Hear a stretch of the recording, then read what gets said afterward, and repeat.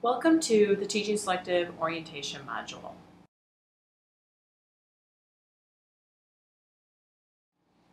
The objectives for this module are to review the goals and objectives for the course, uh, review some logistics, review some previous uh, student feedback and rationale for why things have changed or stayed the same, review some resources, and then recap with a take-home message. So by the end of the teaching selective, you should be able to demonstrate useful techniques for providing feedback as a clinical teacher, demonstrate useful techniques for teaching small groups uh, or on teams on the wards or in your ECMH, and demonstrate effective techniques for preparing uh, and giving a presentation. The teaching selective is a requ uh, requirement here through uh, at Feinberg, uh, connected as a unit with uh, the Patient Physician Society course. And it allows you the opportunity to develop your skills as uh, a clinical teacher and to, uh, in an area for providing feedback. You are provided this opportunity to teach uh, first and second year students in the clinical skills courses and in PBL uh, under the guidance of faculty and resident uh, residents who are trained as feedback providers for you. Successful completion of the teaching selective includes an opportunity to teach in either Phase 1A or Phase 1B clinical skills course. You teach 12 hours uh, in that program. Uh, you'll be videotaped one session and provided with formative feedback from a resident uh, who's been trained in providing feedback on your teaching skills. Students who are enrolled in the ECMH during the M4 year uh, will teach in their homes, but they will uh, sign up for one session, one clinical skills session in either phase 1A or phase 1B uh, to teach and you will be videotaped during that session and also provided resident uh, feedback from a resident who was assigned to you. Dr. Evans and I have discussed this, um, and this change has been made based, we'll get to this later, based on feedback from uh, students' uh, surveys from last year. But we would suggest if you can to do this taped session earlier in the academic year so that you can incorporate the feedback that you're given into teaching in your homes uh, in, the, in the year. In PBL, uh, if you're allowed to do PBL, you'll be assigned a faculty tutor and that faculty tutor will uh, provide you feedback throughout your, your PBL experience. Uh, you must complete at least six sessions Attendance at an orientation session is also required for your respective teaching opportunities. So whether you're in phase 1A or B, clinical skills, or in PBL, there'll be an orientation session for teaching that skill. Uh, during the time that you receive feedback, you can bring your independent learning plan and discuss it. Um, but then once that's finished and finalized, you can turn that in for uh, to complete that portion of the teaching, uh, teaching selective assignment. So from an overall satisfaction perspective, this I show you this data because I think it's important to see how we use this data to make changes, to keep things the same or change things. So overall, both groups of residents and students have enjoyed uh, teaching peers, uh, mentoring, mentoring their juniors uh, as a part of the teaching selective. There's a very positive component uh, of mentoring um, pairing the different levels, um, whether it's the M1, M2 with the with the fourth year student or the fourth year with the, the resident. That's been a very positive um, theme that's come out of the satisfaction data. Um, teaching in the ECMH was also very positive. Uh, imparting knowledge or insights uh, is something that was it's a big theme that was reported in last year's data along with reinforcing your own knowledge and re improving your own personal skills, whether it was cited as a skill as teaching or whether it was a clinical skill that you just reinforced because you taught um, something. So these are, um, oh, real, realization of personal growth and providing and receiving feedback were other uh, themes uh, that were positive in relation to this overall rating. Areas of improvement included for the ECMH students, they reported that they wanted to have more structure, feed more feedback, and time in the CEC similar to the other students so they could get feedback and incorporate it into, into their um, teaching in their homes. So this change is the how we modified um, to let you still teach in your home, but we're going to give you the one session teaching in the clinical skills uh, setting so that you can be videotaped and receive feedback formally, same as the other students uh, in the clinical skills who sign up for phase one or AB.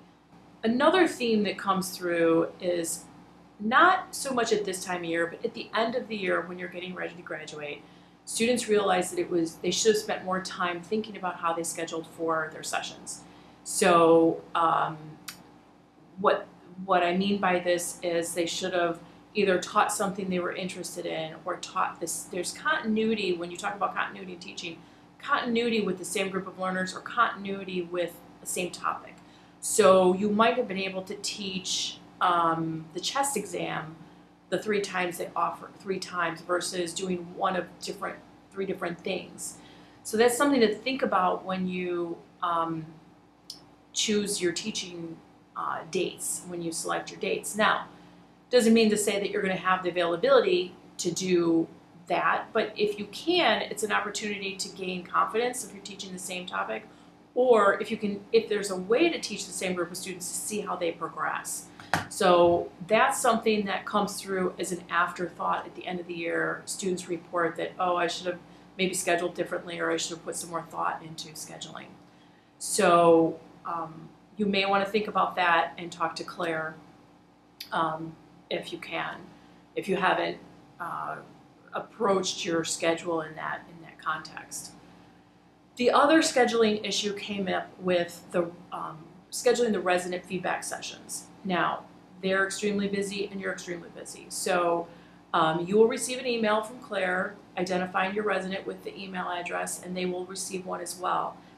Um, please, I'm going to talk to the residents about this too, but please take, be proactive and um, contact your resident and do the best you can with scheduling that session and adhering to um, the time that you can both meet. Um, again, this, this session is for your improvement. It's formative in nature. So it's not meant, the, the whole feedback process in the Teaching Selective is meant to help you improve. So embrace that, that opportunity um, with the residents because they have been trained on how to look at your video and how to provide you feedback on your teaching. This next slide uh, gives you an idea of the perceived importance. And overall, both groups value the teaching selective opportunity. The slide pertaining value of watching uh, the video and receiving feedback, I didn't include the data from this year because of the ECMH students. I think it confounded the results. Um, some students uh, commented that they weren't videotaped, but it looked like they, you know, the overall ratings, um, the numbers were too big, so I didn't include it for this year. Uh, but as you can see, the residents um, find it a little more valuable than, than students. And that might be because it's, it's hard sometimes to watch yourself on tape. It might be because the residents are a little more senior and they and and they're not viewing it as themselves, but as somebody else, as, a, as an opportunity to teach formally in a, in a Feinberg class. So, so there might be some reasons for that. The career plans and teaching data. Now I show you this slide because uh, the residents who participate as feedback providers volunteer for this activity. They, this is an above and beyond what their regular expectations are in their department. So um, this is probably explains some of the extremely high satisfaction that I have from the residents in this pertaining career plans. So resources. Um, periodically, this, this video will be uploaded to a YouTube page. Uh, there may be other resources such as orientation for PBL. I have a separate video for that. I have a separate video that a student made last year for the ECMH students, and we'll, I'll be reviewing those. And, and any resources I have will link to uh, that are video and content will link to my um, YouTube page. So if I had to give a couple of items for you to really remember, some of the things I'd like you to, to walk away with is use the teaching selective as an opportunity to develop and hone your skills as a clinical teacher. You, at this particular point in time, you may not believe it, but you're going to be a resident before you know it, and uh, you will be teaching your junior uh, your juniors as a resident. So you may want to use this opportunity to practice. And even as a fourth year student, you're going to be you know teaching here at Feinberg. Um, other students have reported that they have used the teaching selective as an opportunity to discuss on the, the recruitment uh, trail because Feinberg is one of the few institutions that has a teaching requirement uh, as part of the formal curriculum. Other places have it where it's a voluntary activity. So Northwestern is different in that regard. Advice on your schedules and your logistics. Uh, schedule your sessions wisely. Think about how you want uh, to do your teaching. If, it, if you if there's an opportunity for you to have continuity with the same topic or continuity with the same level of learners, if we can, we will try to help provide that. But you have to look at your schedule and what what your schedule will allow. Um, prepare to teach. So uphold the expectations of the course. Um, teach to those to, to the goals and objectives of that that course if you're in clinical skills, use their checklist and teach the checklist. And look at and reference the teaching selective checklist. So there's a separate checklist for teaching selective, such as setting expectations, clear communication skills, you know, feedback, steps in feedback, and, and knowledge integration. So that that's the other the other uh, checklist. And then prepare for your resident feedback session, and do your best to understand that you both parties have busy schedules and respond to emails and do your best to, to accommodate a time to meet with your resident. Submit your independent learning plan and have fun. Uh, I hope that you enjoy the teaching selective and contact me if you have any questions.